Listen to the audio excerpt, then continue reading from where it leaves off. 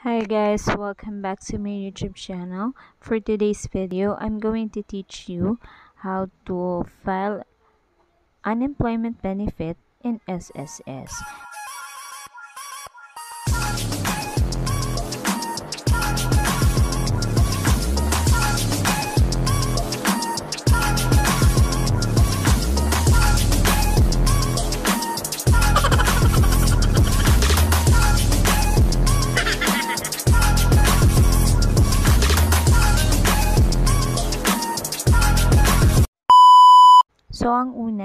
Is, punta po muna kayo sa website ng SSS.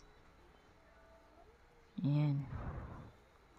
So, click lang, I am not a robot. Tapos, submit. And then, uh, click the member button. Ito po yung homepage. So, next, i-click nyo po yung e-services.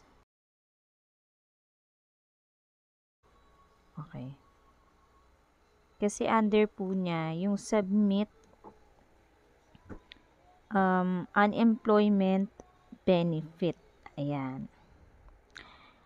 So, i-click nyo po yan. Ito yung lalabas.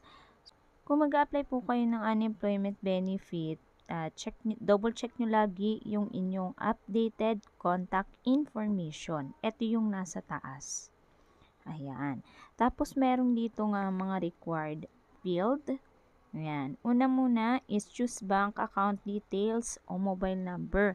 Ito naman yung nakarehistro sa disbursement account po ninyo. Okay, click nyo lang yung uh, arrow pababa. Dito. Ayan.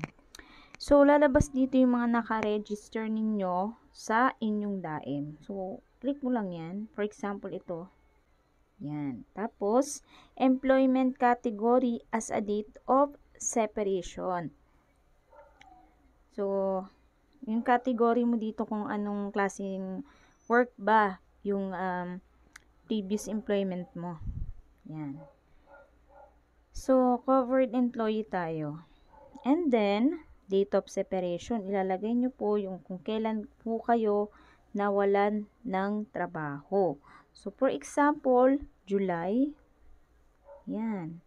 Um, sa akin kasi is July 12. Yan.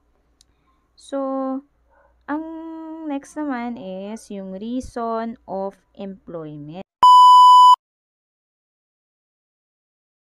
So, yung kadahilanan kung bakit yan nawala ng trabaho. Drop down list ulit po. Ayan closure or cessation of operation meaning nagsarado.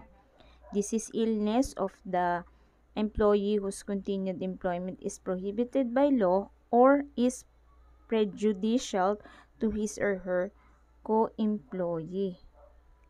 Ito naman yung yung mga pinahinto na dahil sa uh, karamdaman or um, sakit nila na um, pwedeng makaapekto sa kanilang mga co-employee.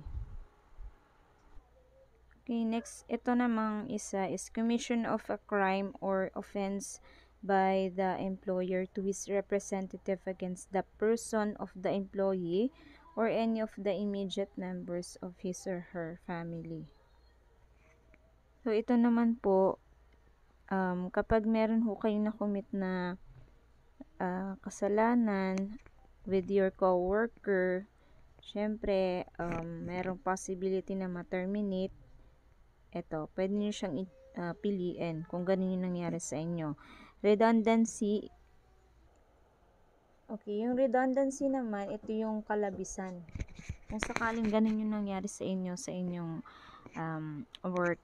So, retrenchment or downsizing, ito naman yung pagbabawas So, kasama kayo dun sa binawas. Economic downturn. Ito yung pagbagsak ng ekonomiya.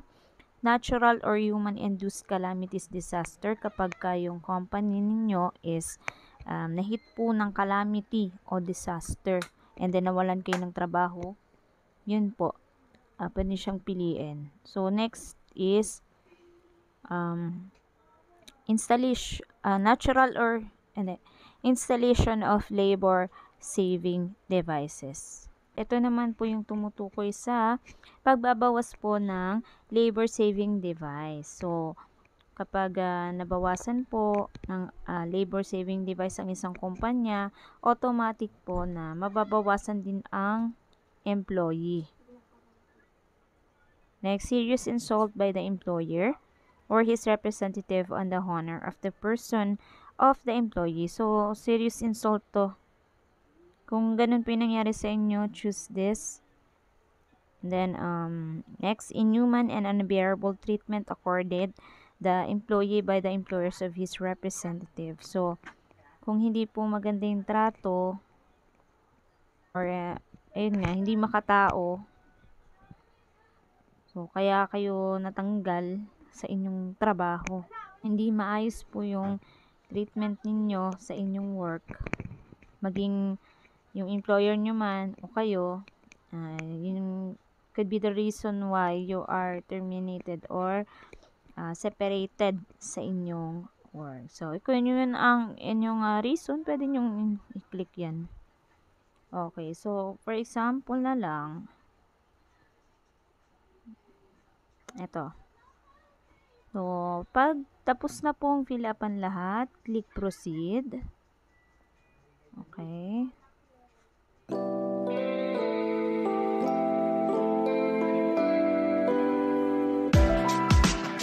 clicking proceed, magre-reflect po kung magkano yung makukuha ninyo.